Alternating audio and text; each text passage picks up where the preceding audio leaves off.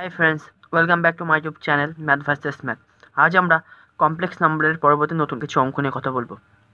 যারা আমার এই চ্যানেলে নতুন, তাদের কাছে একটাই রিকোয়েস্ট যদি তোমাদের এই ভিডিওটা ভালো লাগে, তো তবে তোমরা এই চ্যানেলটিকে সাবস্ক্রাইব করতে পারো এবং নেক্সট ভিডিওর নোটিফিকেশন পাওয়ার জন্য বেল আইকনটিকে প্রেস করে রাখতে পারো। তো চলো নতুন কিছু শেখা যাক।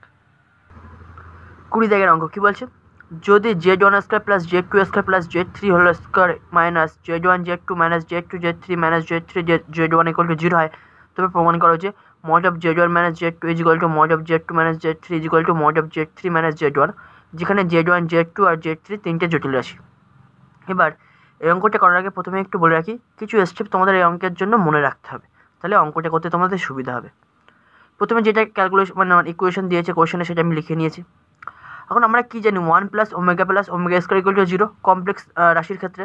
তাহলে এখান থেকে লিখতে পারি omega plus omega square equal to minus one এখন এই যে কটা মাইনাস আছে, তার মানে কি মাইনাস মানে কি মাইনাস ওয়ান আছে? সেই কটা মাইনাস ওয়ানের পরিবর্তে প্লাস আকারে এটা লিখে দেবো। তাই লিখেছি এই জায়গায় এই জায়গায় মাইনাস ছিল, তাই লিখে দিয়েছি plus of omega plus omega square Z one Z two এখানে ছিল, তাই লিখে দিয়েছি। এখানেও ছিল, তাই লিখে দিয়েছি। ওকে সিম্পল গুণ করে দাও। কী গুণ করে দেবো?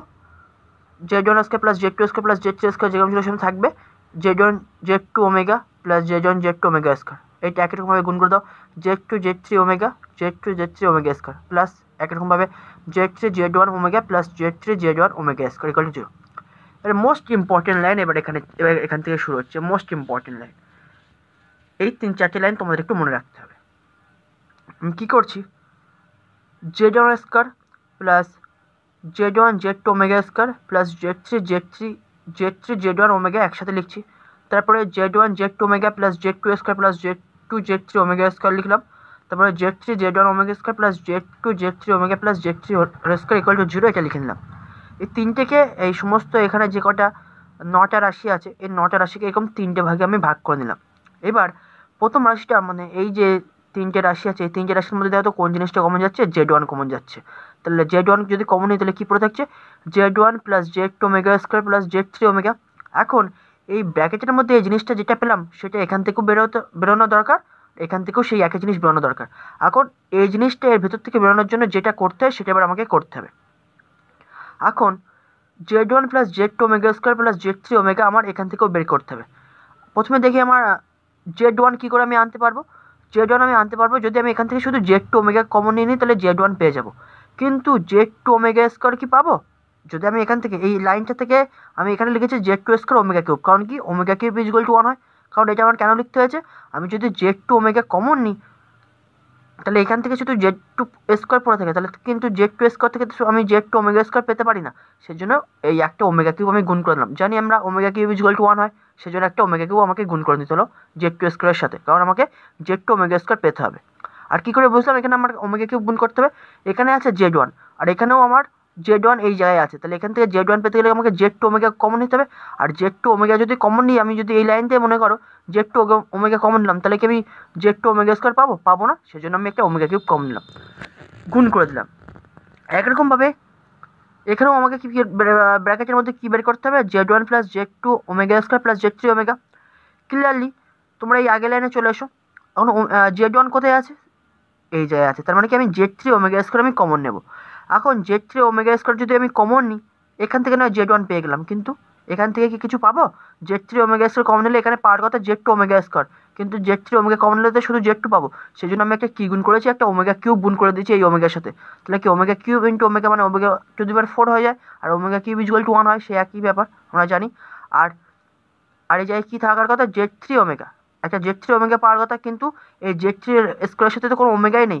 একমাত্র তাহলে ইন্টু ওয়ান আছে, তাহলে ইন্টু ওয়ানের জন্য একটা ওমেগা কিউব আমি গুণ করে দিলাম ইকুয়াল টু জিরো এবার জাস্ট আর কমন নেব। তাহলে এটা প্রথম রাশি কমন নিয়েছি, তাহলে এখান থেকে তাহলে কত কমন নিলাম? জেড টু ওমেগা তাহলে Z one plus Z two omega square plus Z three omega আর এখান থেকে কত কমন নিলাম? জেড থ্রি ওমেগা স্কোয়ার তাহলে কত পাচ্ছি? Z one plus Z two omega square plus Z three omega equal to zero তার মানে দেখো তো ব্র্যাকেটের মধ্যে জিনিসটা প্রত্যেকের একে চলে আসলো, সেটা এই যে, এই জায়গায় কমন আকারে চলে আসলো, আর যেটা পড়ে থাকল Z one plus Z two omega plus Z three omega square equal to zero তার মানে কি? দুটো রাশির গুণফল জিরো। তার মানে আয়দার এটা জিরো নয় ওটা জিরো, তাই আমি করেছি। আয়দার এটা জিরো লিখে দিয়েছি। এবার এটাকে সিম্পলিফাই করছি। Z one plus Z three omega plus Z two omega square ছিল। এখন এখান থেকে ওমেগা স্কোয়ার সমান লিখতে পারি মাইনাস ওয়ান মাইনাস ওমেগা কারণ এটা one plus omega plus omega square zero হয়। তাহলে এখন এই ওমেগা স্কোয়ার পরিবর্তে মাইনাস ওয়ান আর মাইনাস ওমেগা লিখে দিয়েছি। এবার গুণ করে দাও জেড টু দিয়ে, গুণ করে দিয়েছি। এখন Z one minus Z two এই পাশে রাখলাম, আর Z two omega minus Z three omega ওই গেলে মাইনাস হয়ে যাবে। সেই জন্য Z two omega minus Z three omega লিখলাম। তাহলে Z one minus Z two equal to omega common নাও, তাহলে Z two minus Z three এখন উভয় দিকে মড নিয়ে নাও। তাহলে mod of Z one minus Z two equal to mod of omega into Z two minus Z three বা mod of Z one minus Z two equal to mod omega into mod Z two minus Z three কারণ আমরা কি জানি? Mod of X equal to mod of X into mod of Y তাহলে ওমেগার এটা একসাথে আছে মডের আকারে। তাহলে বাইরে বের করে নিতেই পারি। আর আমরা জানি কি? Mod of omega equal to কত হয় ওয়ান তারপরে কি এই জিনিসটা ভ্যালু ওয়ান হয়ে গেল? তাহলে এখান থেকে শুধু লিখতে পারি mod of Z one minus Z two equal to mod of Z two minus Z three এরকমভাবে নেক্সট যে পার্টটা ছিল অর আকারে, তাহলে সেটা ইকুয়াল টু জিরো হবে। তাহলে Z one plus Z two omega plus Z three omega square equal to zero আর এই ওমেগা স্কোয়ারের পরিবর্তে কত পুট করব? মাইনাস ওয়ান মাইনাস ওমেগা এই পুট করে দিয়েছি। এবার Z one plus Z two omega Z three দিয়ে গুণ করে দাও। Minus Z three minus Z three omega equal to zero Z two omega আর এই জেড থ্রি ওমেগা এক পাশে রাখো। আর ওই পাশে নিয়ে যাও। Z three minus Z one তাহলে জেড এবার, এই পাশে এটা লিখছি জেড থ্রি মানে জেড ওয়ান ইকুয়াল টু এখান থেকে আমি ওমেগা কমন নিয়ে নিচ্ছি Z two minus Z three আর ওই দিকে আবার মড নাও, তাহলে মড থেকে শুধু mod omega into mod Z two minus Z three লিখতে পারি, তাহলে এখান থেকে লিখতে পারি Z three minus Z one mod of equal to mod of Z two minus Z three এবার এটা আগে দু নম্বর দিয়েছি, আর আমি এটাকে এক নম্বর দিয়েছি, এক নম্বর আর দু নম্বর কম্পেয়ার করে আমরা লিখতেই পারি, কি লিখতে পারি, এই যে মড অফ জেড ওয়ান মানে Z two equal to mod of Z two মানে জেড থ্রি কারণ কি? এখানে পাচ্ছি জেড ওয়ান মানে Z two equal to Z two মানে জেড থ্রি আর এখানে কি পাচ্ছি? জেড থ্রি মানে Z one equal to Z two মানে জেড থ্রি তাহলে এরা একে অপরের সমান হয়ে যাবে। কারণ এটা ইকুয়াল টু এটা আবার ওটা ইকুয়াল টু এটা তার মানে কি? এরা একে অপরের সমান। তাহলে মড অফ জেড ওয়ান মানে Z two equal to mod of Z two মানে Z three equal to mod of Z three মানে জেড ওয়ান প্রমাণ হয়ে গেল। একুশ দিকের অঙ্ক, কী বলছে? সমাধান করো। Z bar equal to I Z square যেখানে জেড একটি জটিল আছে। সমাধান করা মানে কি? এখানে আমাকে জেড এর ভ্যালু বের করতে হবে। ঠিক আছে? তাহলে let Z equal to X plus I হয় আমি জেডটাকে কী ধরে নিচ্ছি? Z equal to X plus I হয় তাহলে একরকমভাবে তাহলে জেড বার সমান আমরা লিখতে পারি এক্স মাইনাস আই হয় বারের যা নিয়ম প্লাস থাকলে মাইনাস হয়ে যায়। আর জেড স্কোয়ার ইকুয়াল টু তাহলে কী হবে?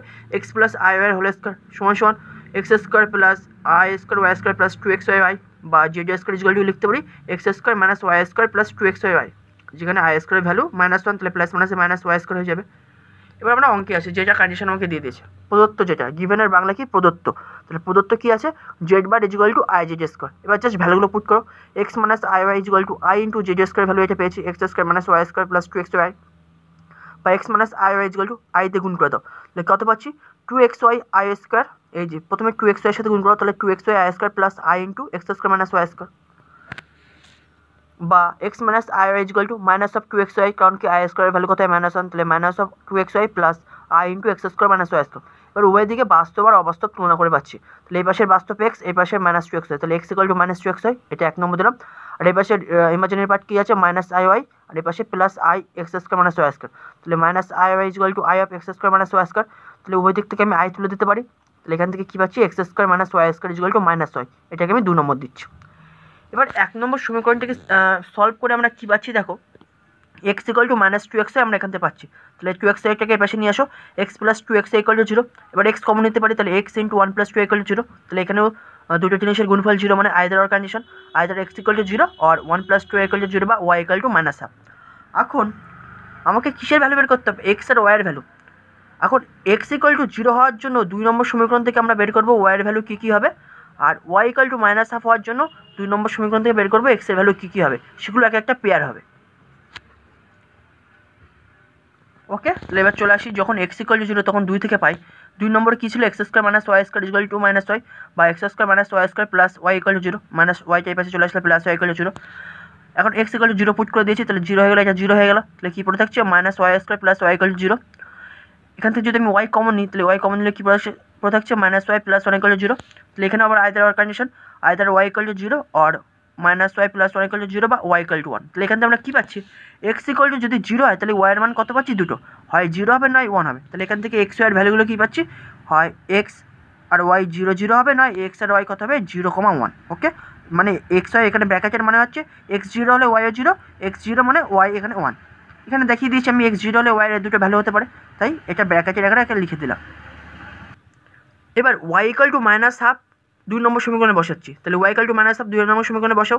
X square minus y square plus y equal to zero বা এক্স স্কোয়ার মাইনাস ওয়াইয়ের ভ্যালু কত? মাইনাস হাফ তাহলে মাইনাস হাফের whole square plus minus half equal to zero বা x square minus one by four minus one by two equal to zero বা x square equal to three by four বা x equal to plus minus root three by two লিখতেই পারি। তাহলে এখান থেকে আমরা কী পাচ্ছি?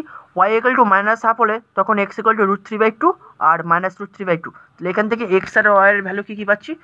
এক্স আর ওয়াইয়ের value either root three by two R minus half কারণ ওয়াই মাইনাস হাফ হলে x root three by two হচ্ছে, আবার ওয়াইয়ের ভ্যালু মাইনাস হাফ হলে এক্সের value minus root three by two হচ্ছে। তাহলে এক্স ওয়াইয়ের আরেকটা ভ্যালু কী হচ্ছে? Minus root three by two minus half আমি প্রথমেই বলেছি আমাকে জেডের ভ্যালু বের করতে হবে। আমাকে কোশ্চেনে বলেছে, সমাধান করো। কী সমাধান করব? আমাকে জেডের ভ্যালু বের করতে হবে। আর জেড সমান কী হয়? এক্স প্লাস আই ওয়াই আমি জাস্ট সেটা বের করব।